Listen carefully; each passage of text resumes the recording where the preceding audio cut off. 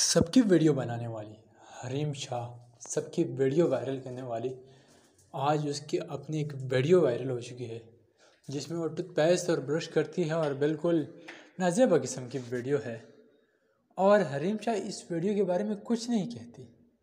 और वो बिल्कुल खामोश है, अगर सोशल मीडिया पे देखा जाए, हर कोई यही ढूंढ रहा है कि हरीम शाह की वीडियो वीडियो, लेकिन हरीम शाह इसके बारे में कोई कमेंट नहीं करती, कुछ भी नहीं बोलती। इससे ज़ाहिर पता चलता है कि हरीम शाह कुछ करने वाली है। वो एक ऐसी औरत है कि जो अपना बदला तो मुश्किल से छोड़ सकती है, लेकिन वो भी एक ऐसी वीडियो लाने वाली है जो पूरी हवाम देखेगी कि ये क्या सरप्राइज़ देने वाली है। क्योंकि जिसने इसकी वीडियो वायरल से तो मालूम हो किसने क्या है, लेकिन वो उस मौके को ढूंढ रही है और बिल्कुल खामोश है कुछ नहीं कहती। कुछ दिन में दूसरी वीडियो आने की बहुत ज़्यादा चांसेस है।